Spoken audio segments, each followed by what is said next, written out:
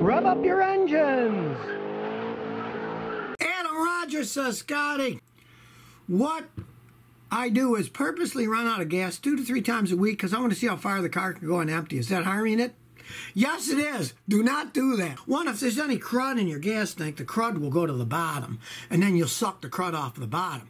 But the main thing is, if you actually run out of gas until it stops running, all modern cars have their fuel pump inside the gas tank. The gasoline that lubricates the electric pump. Sounds crazy, but the gasoline flows through the pump and it lubricates bearings. You actually run out of gas and the car stops running. That means your fuel pump sucked air. When it's sucking air, there is no gasoline lubricating the bearings and it can quickly burn out the fuel pump. Fuel pump replacements on some cars can be close to a thousand bucks or more. Don't do it. It's not a good idea. now you know why. Dang Lockwood says, Scotty, are the Broncos 89 to 96 a bad investment? Well, you know, basically most cars are horrible investments because you put your money in and they just go down in value as time goes on. You know, that's just how cars are. If you're talking, especially in 89, and if the body wasn't rotten, you buy an old vehicle like that, you want to make sure the frame isn't rotten, it doesn't have any problems. You want to check that out first. It could be a decent investment because people like collecting older vehicles.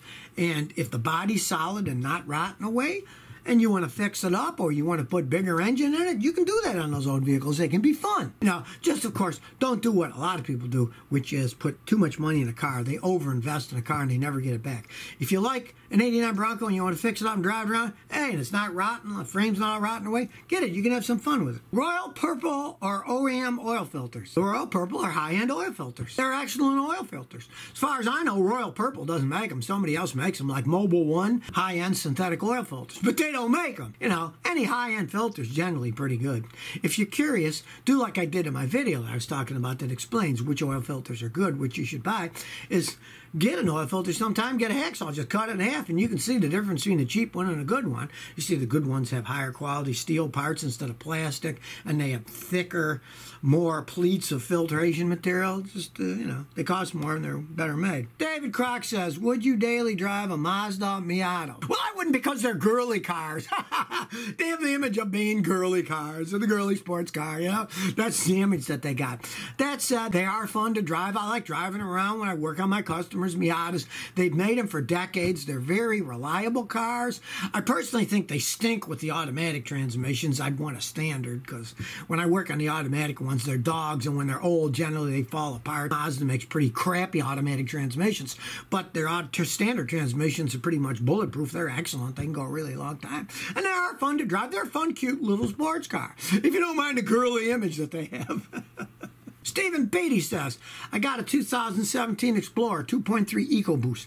How good are the GDI motors? The earlier ones, eh, they had a few problems here and there. If you do buy a GDI motor, be religious about changing the oil. Don't get this BS that you can change it every 10, 20,000 miles. Change it every 5,000 miles religiously on a vehicle like that because it's got more pressure with the injectors, turbochargers, more strain on the engine.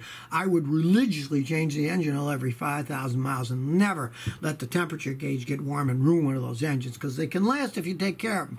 But if you don't, they're money pits. The customers of mine that don't maintain their cars and bought those things, they had engine problems as they aged. But the ones that took care of them, they're still having Good luck with them. Ted Richardson said, Do rim protectors work? Would you put them on your cars? I wouldn't put them on my cars because they're ugly as can be. I wouldn't want to ruin the look of the thing. And I know how to drive so I don't hit curbs all the time. I mean, they're a cover over it. And if you got some maniac that's grinding into the curb, it's going to grind those off or knock them off real fast and still eat up the rims. They're ugly. The whole point of fancy wheels is they're fancy wheels. If you put some ugly rubber protector on it, coo had a guy from Russia just sent me a set of different colors green, yellow, red.